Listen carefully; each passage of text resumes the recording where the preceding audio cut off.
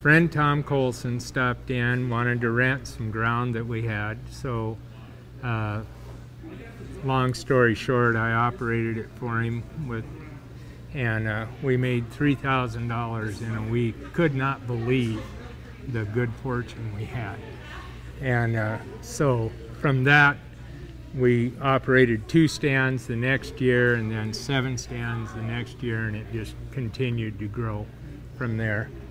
And, uh, so that was over 40 years ago. And then I married in around 23 years ago. So that's how I started. And he yeah. threw me in a tent one year and went back up to South Dakota. This is down in Parker, Colorado. Went back up to South Dakota, just going to be gone for a day. Couple um, days. Found out he had some crop of peas or something, and uh, wouldn't be back for a little while. So I'm running a hundred foot tent never even been around fireworks. It was crazy. Yeah.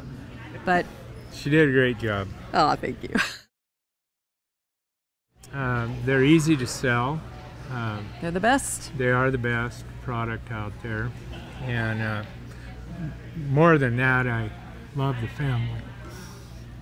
Yep. Um, the quality's good. It is easy to sell. Um, the support that that the company gives through all the iterations, um, just phone calls all the way up through, you know, current technology and marketing and and everything. Just um, they're they're a full service company and. Another um, reason we've become the majority, of, the majority of our stands are run by nonprofits.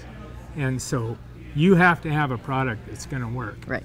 They can't have the challenge of a customer coming back going, hey, this didn't work you know? Right. Uh, so it's got to work. It's got to be premium product if you're going to be successful. We sold um, in a southeast state uh, one year in tents and on july january 1st so for new year's and on january 1st um, some people drove up while we were taking the tents down and putting it away and um, we thought oh god what happened you know uh, yeah. And this woman rolls down her window and she goes, Everything worked.